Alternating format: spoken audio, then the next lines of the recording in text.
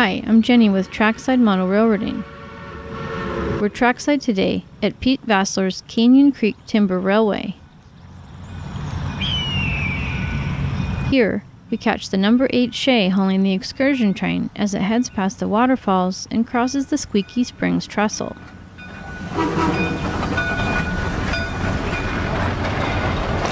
This area is known for red-tailed hawks and falcons, and the special boxcar at the head end is full of photographers who are never disappointed.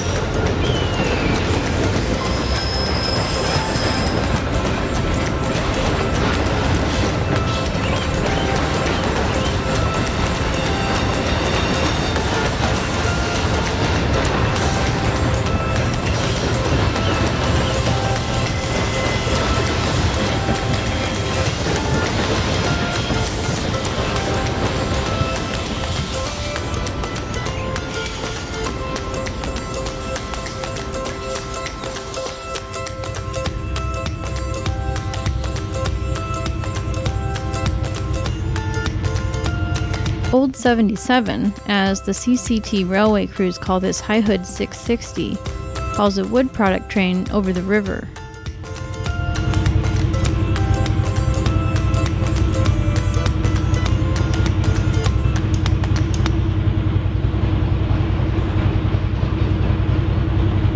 I wonder if the railroad is losing passenger revenue, as it looks like it's offering a little unknown passenger service in the boxcars today.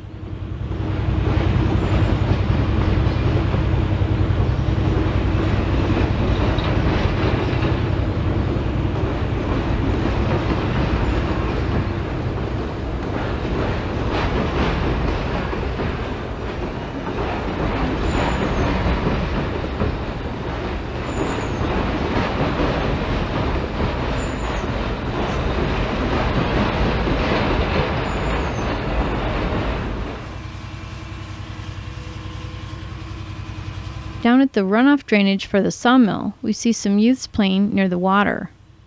I wonder if they're looking for crawdads.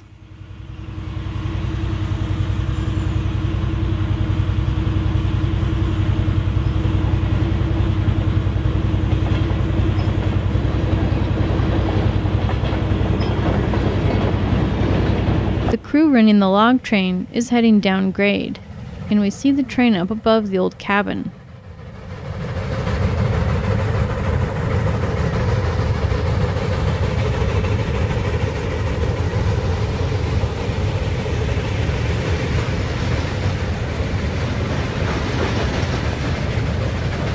With number 9 in the lead and number 2 helping, the crew keeps the log train under control on the steep grade down the mountain.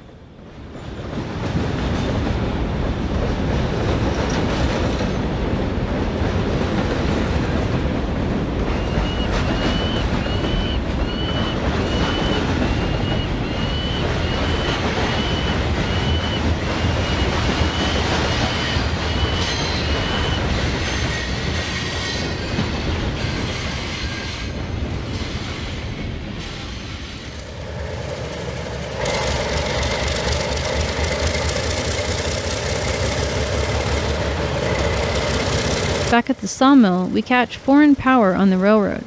That's the railroad's leased SP&S.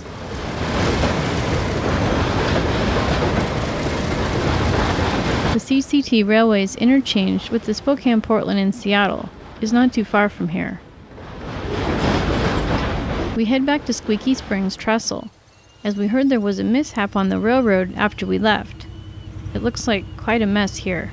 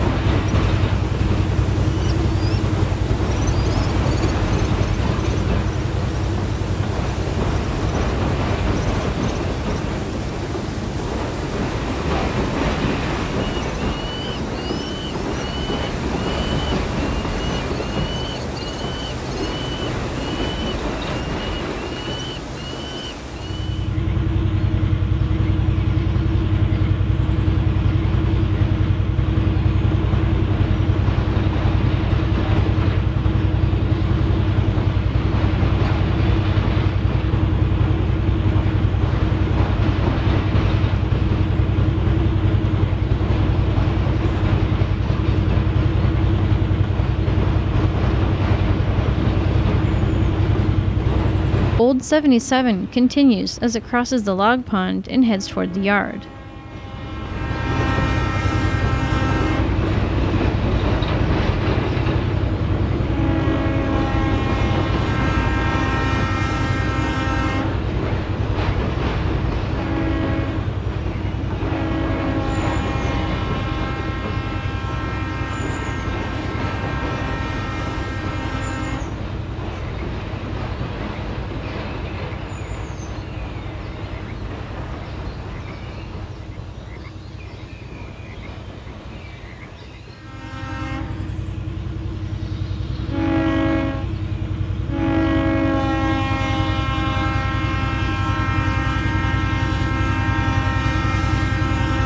Canyon Creek Yard, we see 77 as it approaches. The locals said they're staging this train for when the derailment is cleaned up.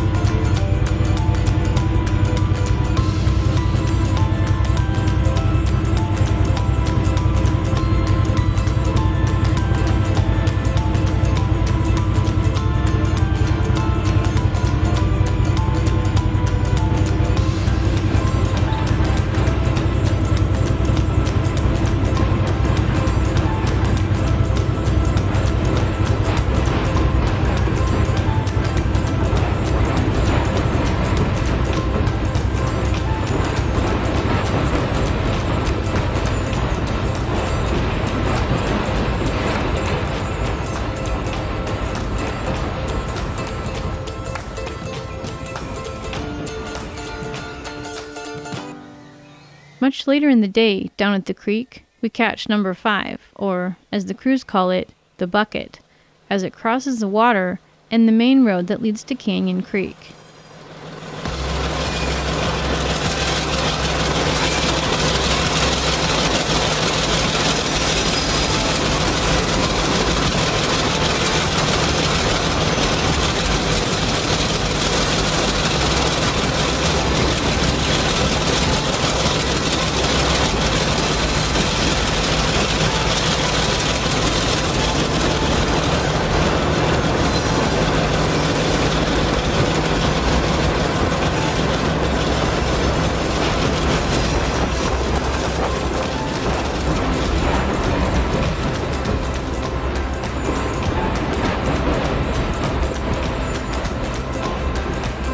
We see it again down by the sawmill, and we see the same kids. It looks like they are thoroughly enjoying the day down by the water.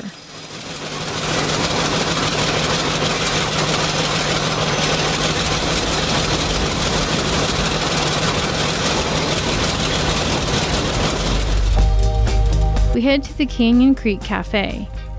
The place is lit up and really hopping, and our plan is to get dinner here as we hear the food is the best.